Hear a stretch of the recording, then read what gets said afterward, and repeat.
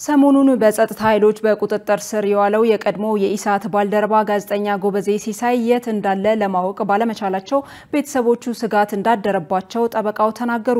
የፌዴራል ፖሊስ በበኩሉ የጋዜጠኛውን ጉዳይ እንደማያውቀው ተናግሯል። የኢትዮጵያ ሰብአዊ መብቶች ኮሚሽንም የጋዜጠኛው ሁኔታ እንዳሰጋው ገልጿል። አንዷለም ተስፋዬ ተጨማሪ አለው።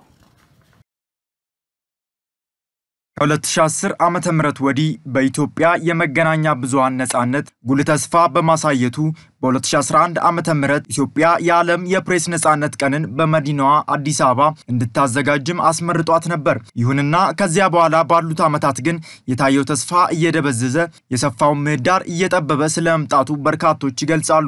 ተሻሽሎ የነበረውም በዓለም ደረጃ ጋዜጠኞችን በማሰር የያዘችው መጥፎ ስም ዳግም እየተነሳ ስለመምጣቱ ይነገራል። በፈረንጆቹ 2021 ድንበር የለሹ የጋዜጠኞች ቡድን ባወጣው ሪፖርት ኢትዮጵያን በፕሬስ ነጻነት ከዓለም 180 ሀገራት በመቶ አንደኛ ደረጃ ላይ ያስቀምጧታል። ከሰሞኑ የቀድሞ የኢሳት ባልደረባ የነበረው በአሁኑ ጊዜም የአማራ ድምፅ የሚል የድረገጽ ጋዜጠኛ የሆነው ጎበዜ ሲሳይ ሚያዝያ 23 ቀን 2014 ዓ ም አራት ሰዓት አካባቢ ከመኖሪያ ቤቱ በጸጥታ ኃይሎች ለጥያቄ ትፈለጋለት ተብሎ ተወስዷል። የጋዜጠኛው ጠበቃ አቶ አዲሱ አልጋው ጋዜጠኛው ከተያዘበት ጊዜ አንስቶ በየትኛው ፖሊስ ጣቢያ እንደሚገኝ ማወቅ እንዳልተቻለ ለኢሳት ገልጸዋል።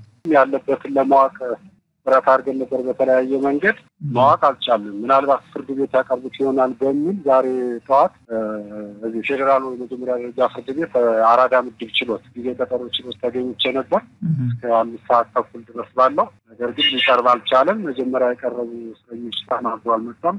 በዚህ ምክንያት ወደ አዲስ አበባ ፖሊስ ኮሚሽን እስረኞች አስተዳደር እና የዕለት ሁኔታ ክትትል ክፍል ገብቼ ስር መሆኑን ለማጣራት ሞክሬ ነበረ። እንደዚህ የሚባል እስረኛ የለም ነው ያሉ እነሱ። ፌዴራል ፖሊስ ኮሚሽን ጋርም ገብተው ወንጀል ምርመራ ቢሮ የለም ነው ያሉ። ጋዜጠኛም ሆነ ማንኛውም ሰው በሕግ የሚያስጠይቀው ተግባር ሲፈጽም በኢትዮጵያ ሕገ መንግስትና በወንጀለኛ መቅጫ ስነ ስርዓት ሕጉ መሰረት ሊጠበቁለት የሚገቡ መሰረታዊ መብቶች እንዳልተከበሩለት ጠበቃው አክለው ገልጸዋል። ማንኛውም ሰው በወንጀል ሊጠረጠር ይችላል። ተይዞም ደግሞ በስሩ ምርመራ ሊጣራት ይችላል። ይሄ መደበኛ ነው። ምርመራ ማጣራቱ ተንኮል የለውም፣ ማንኛውም ሰው ማለት ነው። ነገር ግን በፍርድ ቤት ጥፋተኛ ተብልነቱ እስኪረጋገጥ ድረስ ማንኛውም ሰው ነፃ ሆኖ የመገመት መብት አለው። ስለዚህ አንድ ነፃ ሆኖ የመገመት መብት ያለው ሰው ደግሞ በህግ ቁጥጥር ስር ሲሆን የመጀመሪያ ሚኒመም የሚባለው መብቱ ከቤተሰብ ጋር እና ከህግ ባለሙያ ጋር መገናኘት ነው። አሁን ላይ ግን እሱን መብቱን ተነስቶ ያለበት ሁኔታ ነው ያለ። ቤተሰቦችም የት እንዳለው ያውቁም። አሁን ጭንቀት ላይ ናቸው። አልፎ እኔም ጠበቃው ነኝ። እኔም የት እንዳለ አላወቅኩም።